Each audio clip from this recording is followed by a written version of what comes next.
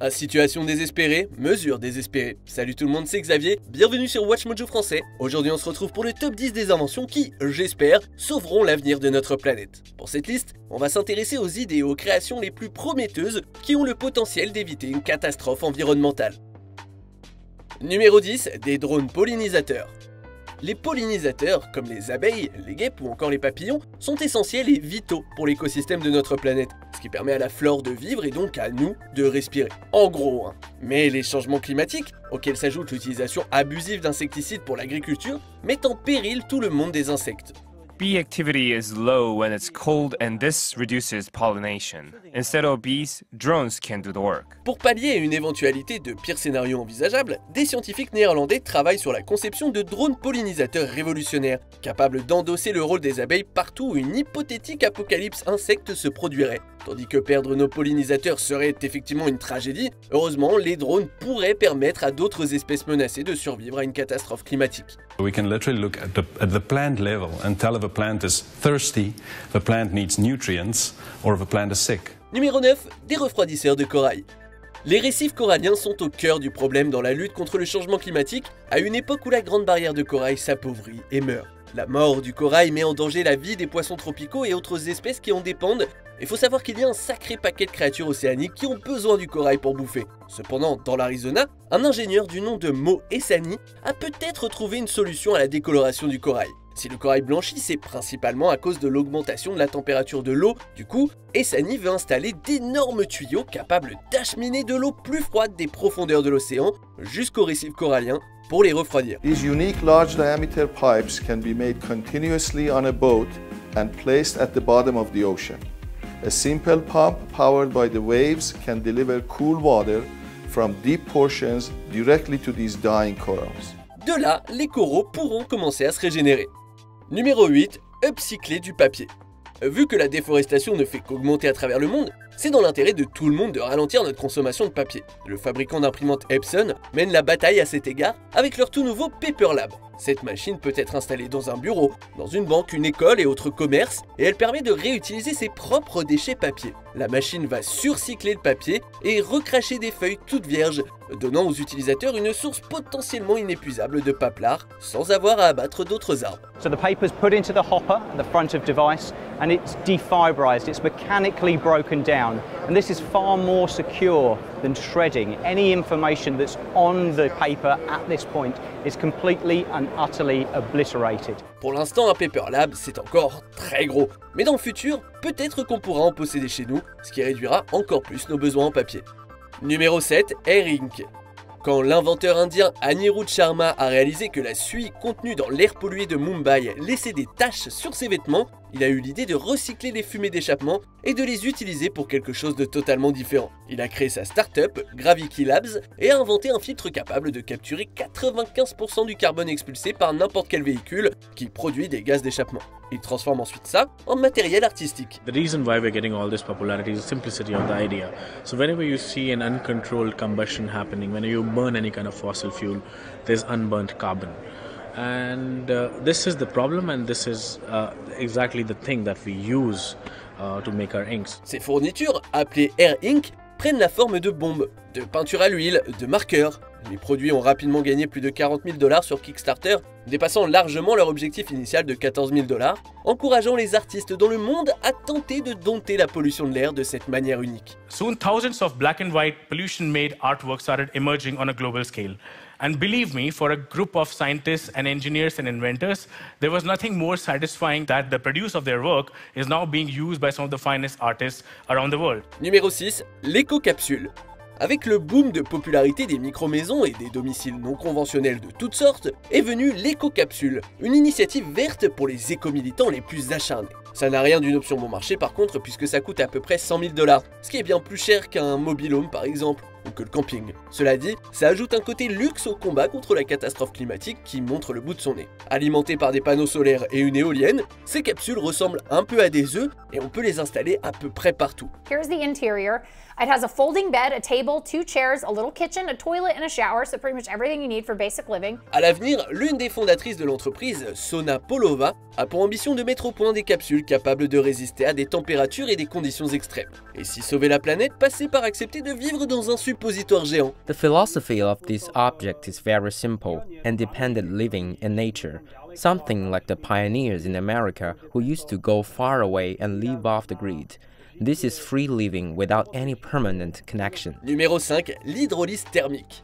Comme toute créature qui vit sur la Terre, les humains produisent des déchets. Mais il existe des façons d'utiliser ces déchets à notre avantage. L'hydrolyse thermique, en gros, ça va consister à chauffer la boue, ce qui va permettre de la stériliser, afin qu'on puisse l'utiliser comme engrais, voire même pour produire de l'électricité. So the thermal hydrolysis is a particular technology which is dedicated on the sludge reduction and also to take the value from the, the sludge after digestion. Comme les égouts, le procédé peut aussi utiliser les déchets alimentaires ou industriels, utilisant de la matière hautement toxique mais la stérilisant, ce qui permet par la suite de la recycler. We provide uh, benefits in terms of capex savings to the wastewater treatment plant owners. Can build one third of the normal sized uh, digester.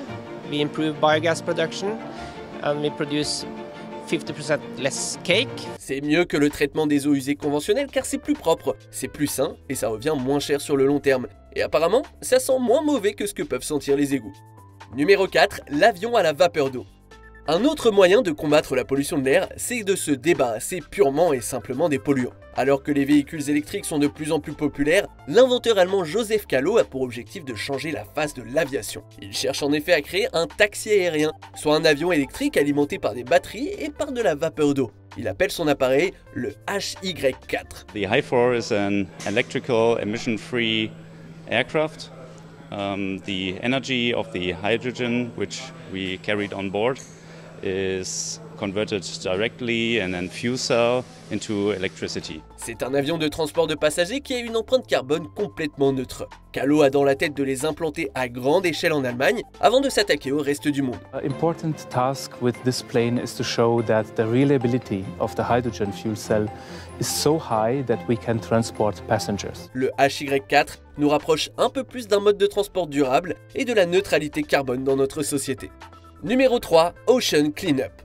Peu de causes ont reçu autant d'attention que celle de la pollution des océans. Il y a d'ailleurs de nombreuses initiatives qui visent à nettoyer la mer. La plus ambitieuse, c'est The Ocean Cleanup, une ONG dont l'idée est de concevoir un gigantesque tuyau flottant pour rassembler, puis se débarrasser des déchets qui constituent le vortex de déchets du Pacifique Nord, qui fait quand même à l'heure actuelle au moins trois fois la taille de la France. À une plus petite échelle, il y a le Seabin Project, littéralement le projet poubelle de la mer, fondé par des surfeurs australiens. Seglinski, a surfer from Australia, and his business partner dreamed up the sea bin three years ago, frustrated by the growing amount of plastic and pollutants littering the water. Cet appareil aussi récolte les déchets présents dans la mer et peut être installé dans n'importe quel corps d'eau. Une entreprise chilienne, du nom de Bureo, combat les déchets marins en les recyclant en planches de skate ou en lunettes de soleil. La boîte floridienne Saltwater Brewery, quant à elle, crée des anneaux de packs de bière comestibles pour diminuer la mise en péril de la vie marine. Saltwater Brewery presents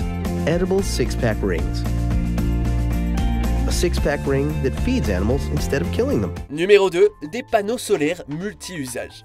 Les panneaux solaires, c'est très bien, mais l'installation peut coûter cher, ce qui signifie que peu de monde arrive à dégager des bénéfices. De nombreuses entreprises essayent de mettre des panneaux solaires sur le plus de surface possible, comme ça, dans l'idée, tout le monde pourra utiliser de l'énergie propre. Parmi ces initiatives, il y a par exemple d'en faire des fenêtres pour pouvoir alimenter des buildings entiers, ou encore sur des écrans de téléphone, comme ça, on a moins besoin de les recharger. Le plus intéressant, c'est sans doute le plan de Solar Roadways, qui a pour objectif de recouvrir des routes entières avec des panneaux. Sauf que pour le moment, ça s'avère un peu galère à mettre en place. There is a, project the United States called uh, Solar Roadways, which consists of uh, concrete including uh, the solar cells plus uh, tempered glass on top of it. Les panneaux conventionnels sont eux aussi améliorés. Le MIT a récemment essayé d'employer des bactéries pour augmenter la conduction d'électricité et ainsi améliorer drastiquement leur efficacité.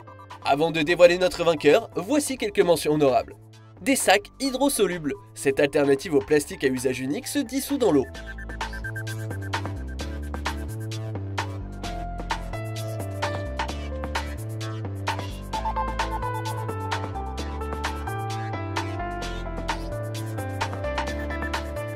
Des intercepteurs de déchets. Mr. Trashwheel à Baltimore commence à avoir une grande influence. John Kellett designed and built the trash wheels, solar and water powered machines that collect floating trash and drop it into dumpsters. Water Rotor, cette turbine aquatique produit de l'énergie grâce au courant lent. Water Rotor, over the last eight years, has been the only company that's actually been able to prove and extract energy from flows that are moving as slow as even as slow as one mile per hour.